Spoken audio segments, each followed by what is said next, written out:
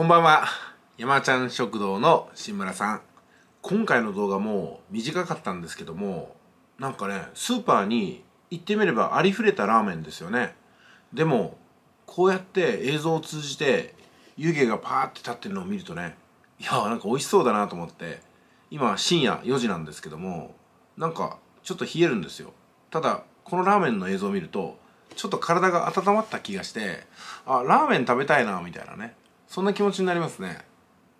でこれでなんか癖になりますねやっぱり見てるとね。別のラーメン動画も見ちゃいますよこれは。だからこれはこれでこの攻め方はいいんじゃないかなと思います。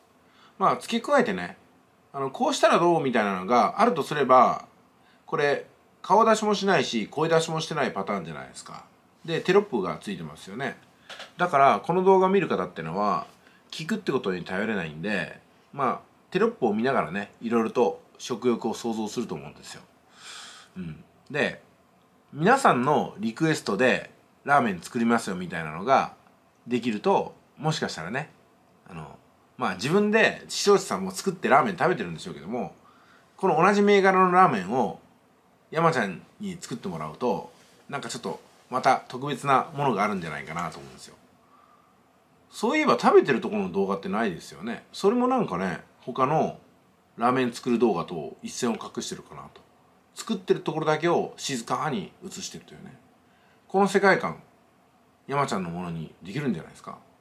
いや私はね今までの固定概念がありましていやこれでどうかなっていうところはやっぱりあったんですけどもいや逆にここまで生ききるんだったらもうそれこそね日本中にある全てのラーメンをこの調子でやってったらこれ映像記録として数年後むちゃくちゃ価値出るんじゃないですか。うん。えそしてタグも入ってますもんねちゃんとね。ラーメンのマルちゃんとかね。なんか焼きそばラーメンとかね。焼きそばラーメンって何じゃって感じですけどね。そんなもんはないですけども。うん。タグも自然に商品名で意識されてますんで。割といいかもしんないな。あとねあのあれを使ってみたらどうですか？あの何ですかね。シャープマークね。ハッシュタグってやつ。えっと説明欄にハッシュタグシフトをしながら3ですけどもハッシュタグラーメンハッシュタグまるちゃんハッシュタグ山ちゃん食堂みたいな感じで3つぐらいねハッシュタグを入れていただくとちょうどいいと思います。そうすることによってまたねアクセスが取れるんじゃないかなと思いますんでやってみてください。えそれでは今回は以上です。